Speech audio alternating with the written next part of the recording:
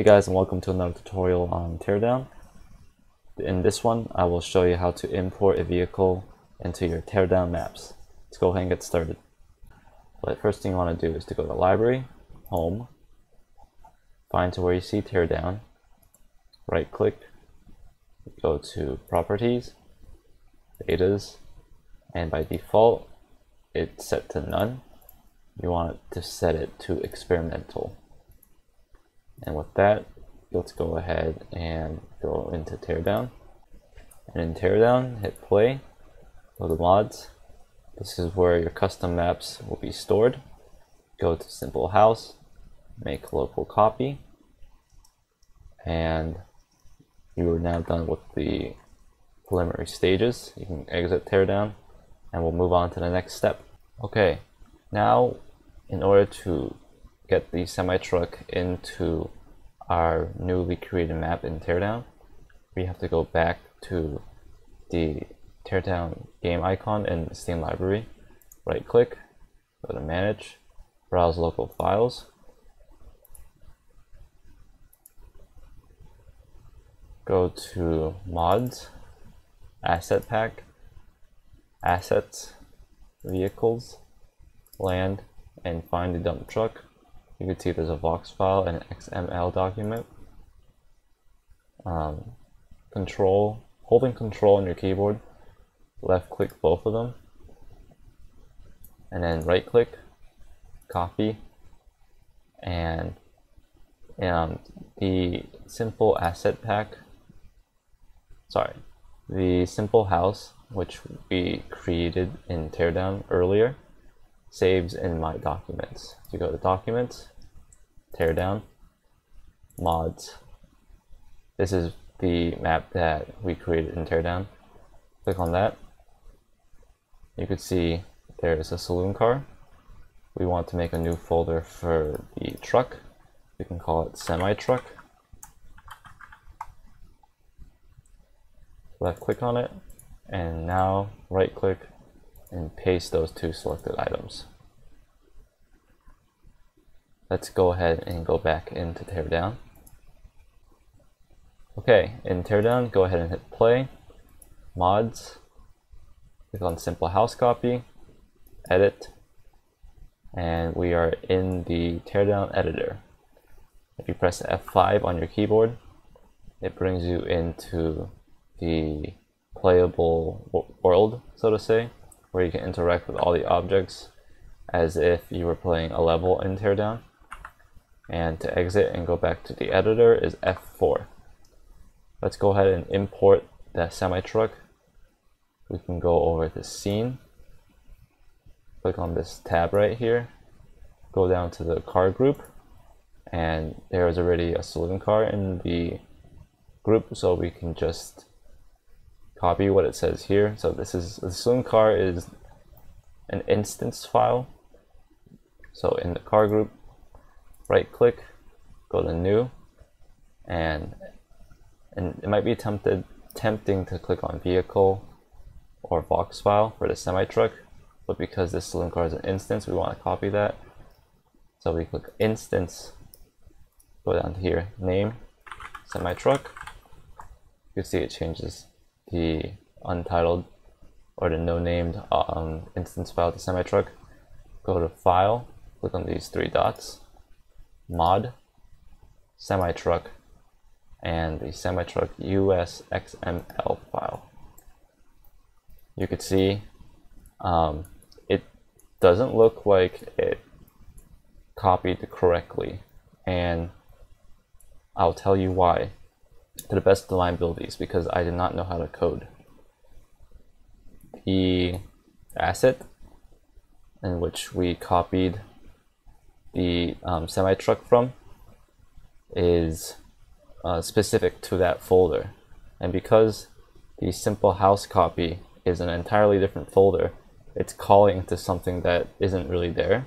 So this is why we don't have, this is why I didn't import correctly. So we need to fix that we can delete that go to file save let's go ahead and quit and exit teardown go to if you go back to my documents teardown, mods, simple house copy, click on saloon car, and the XML document, right click on it, open with notepad. You could see, where is it?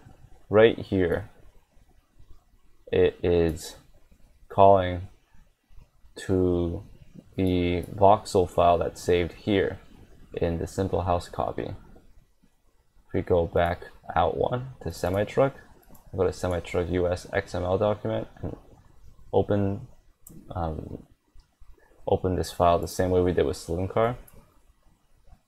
Let me get both of them side by side. This is the one that we can see the car, whereas this one, which we try to import, we can't see the car. If you look over here, the file is calling not in simple house copy where the semi-truck Vox file is saved. It's calling in the asset pack, which is in the local files in teardown. And we don't want that. We want it to be like, um, and this is saloon car. We want it to be like this. So literally just copying this, but for the semi-truck is how you do it. So if we go back to semi-truck where um, in simple house copy, you um, it's right here. We want to change this right here where it says assets, vehicles, land. We want to change that into whatever name this folder is. And in this case, it's semi-truck with a space between semi and truck. So we can change that. And then uh, backslash. And now we want to copy this and paste it wherever it says um, basically this.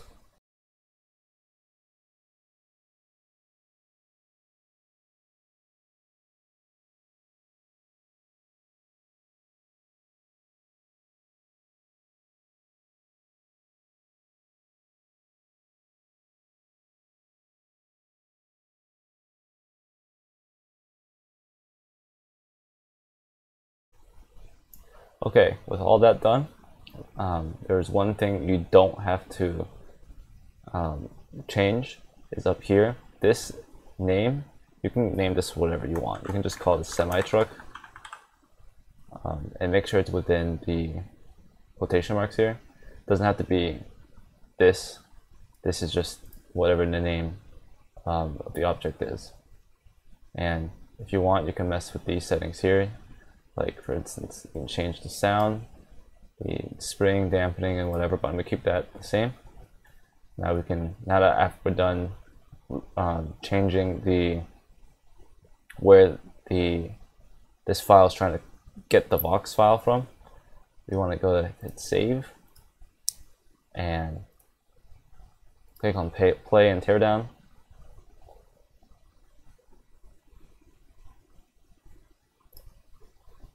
Teardown. play, mods, simple house copy, edit, and click on car group, new, find instance, and let's do what we tried doing before. These three dots, mod, semi-truck, semi-truck US XML. And you can see it copied fine. And um, Let's go ahead and hit F5 to see if it works, if we can get it and drive it, if it's destructible. And it looks like it is. And that's basically it. You could do this to um, all the other vehicles in Teardown, just following the same steps as we did with this semi-truck. Uh, one important thing to note that will make your life easier is that if I hit F4, uh, let's say I want to change the sound of the semi-truck. We go over here. Um, let's say I want to change the sound. you can just alt tab and find the notepad semi-truck file and where it says sound where is it you can actually change these settings while the game's still running. You don't have to close the game and hit you just hit save. Go back here hit play. If I go into the truck now I change the um, sound of the engine from my semi truck into a car. And I was able to do that without manually closing the game. And reopening it just by changing one small thing. So that's really cool. Last thing to note is that we, if we wanted to change, for instance, the color of the semi-truck, you can actually do that. Um, even without leaving or exiting the program. So find where you save the uh, custom map, which is, remember, in Documents, Teardown, Mods, and the simple house copy that saved earlier. Find semi-truck, and um, if you have MagicaVoxel installed, this might be set by default. But for instance, if it's not, you can just hit open with, choose another app, and you want to basically, uh, if, if it doesn't auto detect MagicaVoxel, you have to go in manually, click on look for another app, and for me, MagicaVoxel is saved on my desktop, artwork, MagicaVoxel, and find the MagicaVoxel application. And you hit open, and here you could see the Vox file for the semi-truck. So if I want to make this a blue tab, uh, I can just double click this square here, and while holding Alt on my keyboard, click on the red, you can see it selected that color. You, um, this will be closed by default. You click color to open it, and now I can change the color of that semi-truck to a nice blue. I'll find a good blue here.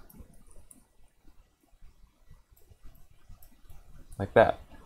And here, this is some weird color. I don't want that, so I could just hold Alt, left click, it grabs that color.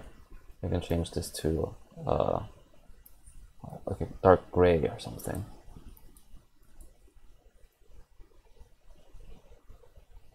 Like that. All you have to do is I'll just go ahead and change the back of the trailer.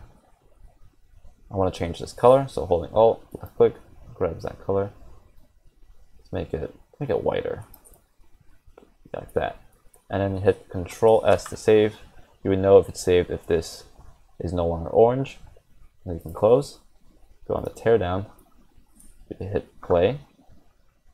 You can see it changed the color. Before it was red and now it's blue. And isn't that cool? You don't have to actually exit the game to uh, do these small changes like that. And it saves you so much time. And hopefully, you guys will find it easier to import vehicles into Teardown. Hopefully this tutorial has helped, and I'll see you in the next video.